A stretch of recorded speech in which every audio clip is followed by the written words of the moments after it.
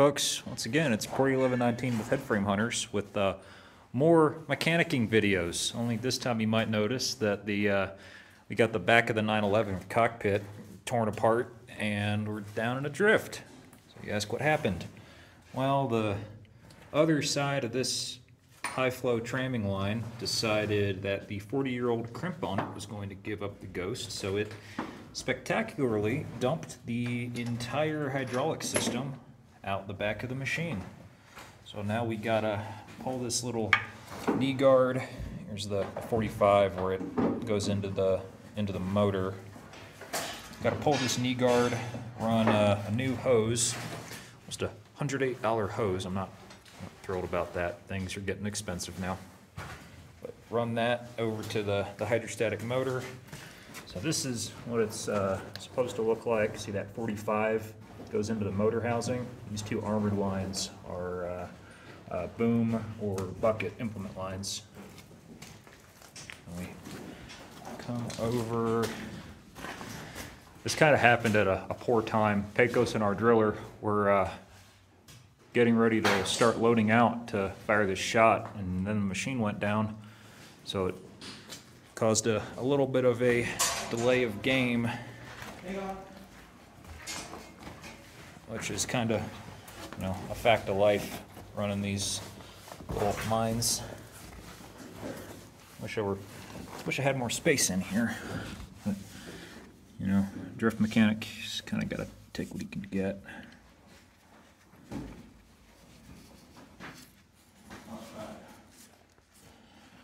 That's gonna quarter wrench. And then we'll drop that one and that one, and then just make a, make a coil like around the bend down by the tools. Alright, That way it's clear to blast. as you're hearing over there, once this is wrapped up, we're gonna load and then fire that shot later than, uh, you know, we wanted. It's about a, a five-day delay, just on account of me working a, a day job and not being able to necessarily come up here at the drop of a hat. it's like a two business day delay. Yeah, that's all it really is. I mean, it's not the end of the world. This is just uh, one of these things that happens when you're running equipment that is almost old enough to be your dad. This is, uh, according to Sandvik, who bought EIMCO, according to Sandvik, this is a uh, 1983 machine. It's kind of funny to me that they made 911s more or less the same for uh, 40 years because they showed up in the, or not 40, more like 30. Uh, they showed up in the, the late 60s and they must have been like space age stuff back then because, you know, there would have been guys working then who'd come into the industry before the advent of the overshot and they come into this thing that's hydrostat driven and you know looks like something off of Star Trek by comparison. And then I know of some that were built as late as uh, 1995. There's a, a couple of those running around up in Canada, or Soviet Canuckistan. So, yeah, they uh, they were in production for quite a while, and the only real big change that I know of was uh, going into the B model to widen out the back end of the machine by six inches to fit an extra cylinder and increase your uh, installed horsepower and your power to weight by quite a bit.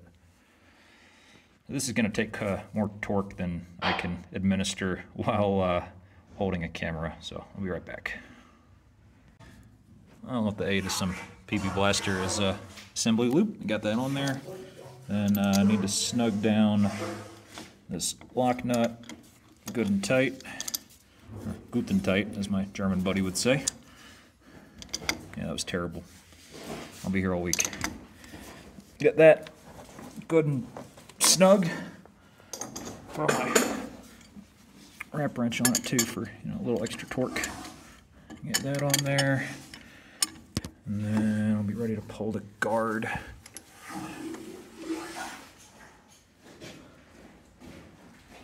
All right, that should we do it for torque.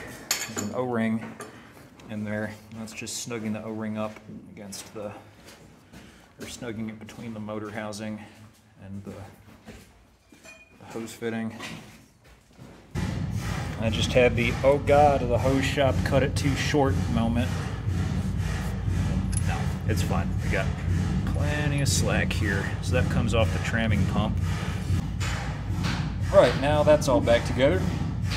And now I remember that the hydraulic fill is on the other side of the machine, so I gotta carry the 60 pounds or, yeah, probably about 60 pounds of hydraulic fluid over to the other side. Cool. Hey Gail, can you bring me uh, one of those buckets? I'll grab the other one. All right, so after we got the 911's tramming system patched up and the hydraulic refilled, we were clear to come in, start loading powder. Got, I counted 39 holes on two foot centers because going to 30 inch centers on the last shot, we got a few, uh, you know, microwaves, mini fridges. It didn't load the best, didn't muck the best. You know, bad frag will cost you down the line in uh, tire wear, machinery wear, etc. So, one thing that we do with this, and I need to tweak it, is we're going for 90 degree angles on this ring main to get a symmetrical initiation so that say if it were to to initiate clockwise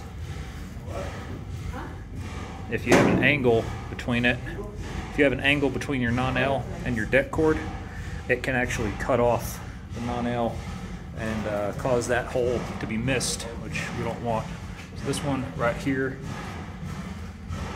going to see I can just swing it down in a little bit that looks better. I'm really fastidious about this.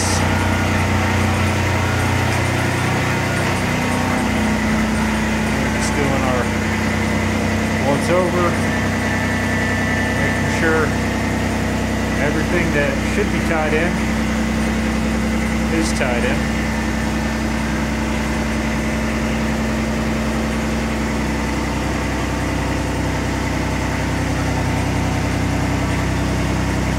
Seven the whippers are tied. Knee holes are tied.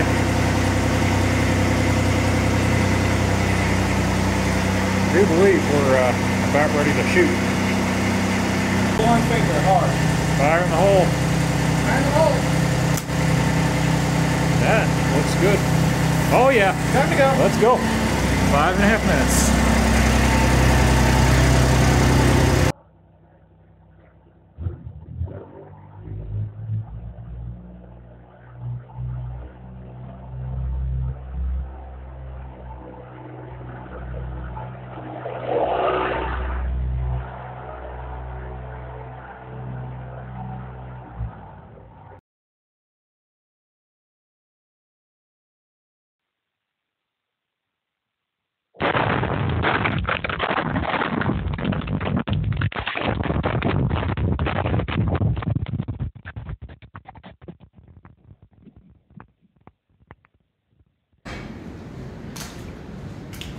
So we've been letting it vent out for about an hour. I'm down to see what we got. We got uh, less fly rock, which is interesting. I love the smell of powder fumes in the evening. It smells like a headache. It's looking decent. It's a smoky one.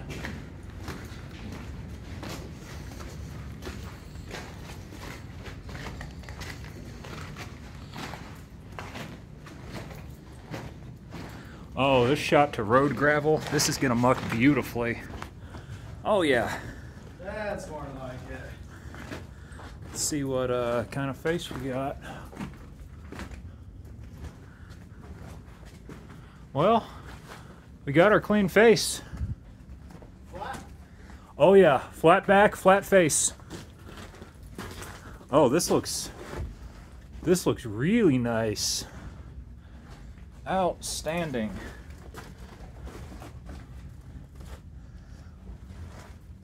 and I believe uh, believe we pulled six feet. You got a, a marker that you used? Uh, no, I didn't set a mark, Okay. but if you don't see a boot, No, I do not see a boot. Let's uh, go check uh, our bootleg down here right at the burn. Trade lights. Trade me lights, if you don't mind. Yeah, so here's our one of our burn holes. Bootlegged a little bit. Did shoot a clean face though. Extremely. I don't mind the boot as long as, because that's probably one of the burn holes. Yeah, I did drill the burn deeper. Yeah. All in all, we're looking Shoot, pretty we got good. back of the hole right there. Yeah, yeah, we got back to the hole right up there. That one right there. Oh, this is looking. Yeah, we pulled six feet. We'll need to sound the face a little bit, but it doesn't look like it's too jointed. I don't think we're gonna get much down. Outstanding. Well, there's your boot from the last hole right there. So there's Yeah. your face right, right where my lights. at. Yeah, that pulled six feet. Excellent. That's a flat face. Yeah, Got a little bit of a knob right there, but not bad. it's a lot better than it has been. That's a lot. So I did something a little bit different on our lifters. I did 14s on the inside and 15s on the outside. Okay. It seemed to be a lot more manageable muck.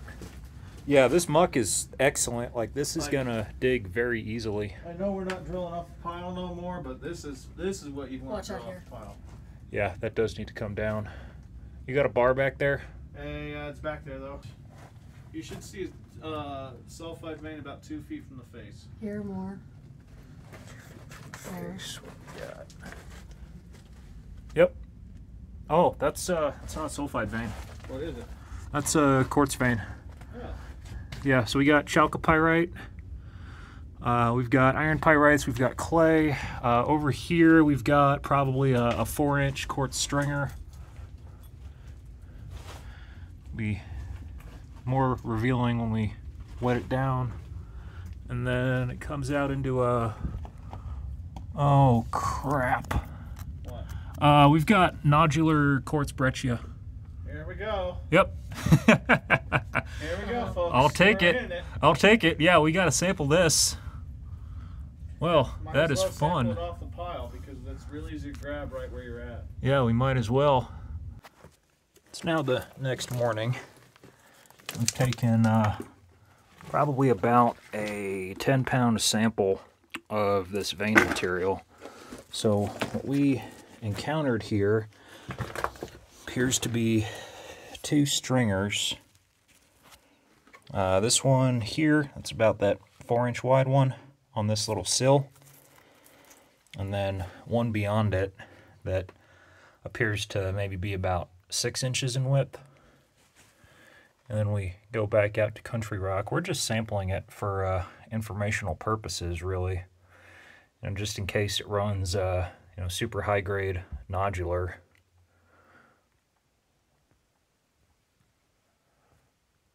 But we're overall getting good indications that we should be into our target ore zone pretty soon. I want to say uh, probably two more shots.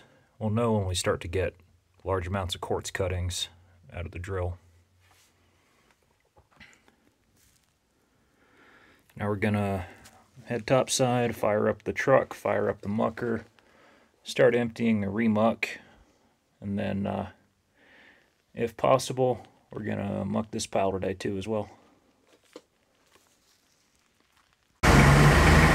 See, this is what happens when we use 30 inch centers and uh, a blend of Geldine and ANFO. We get refrigerators coming out of the muck pile. This is uh, what we shot previously. That was uh, that shot was probably 60, 75 percent ANFO, uh, remainder being Geldine. This is all in the muck bay to make room for the most recent shot. Just, uh, drawing bay so that we can have a, a real quick haul, a real, real quick muck out on the face. Just uh, run a loading carry. Uh, we'll still be running the truck there, so some of that will go topside. We don't want to touch the muck more than once if can help it. Unfortunately, we usually can't help it. I just got done dumping out another load up top. So after we got this dump road passable, uh, we started running all of our waste material up top here. So you can see a little bit beyond there, uh, what we're going to be doing is pushing this material off to start that uh, that next lift on the road, and that's going up to uh, what's planned to eventually be an escapeway shaft or raise bore. So it might come up here with uh, Big Chungus since it runs now and should be able to handle this amount of muck fairly well. Push off the edge, clear additional space. All in all, it's uh, working pretty decently dumping up here.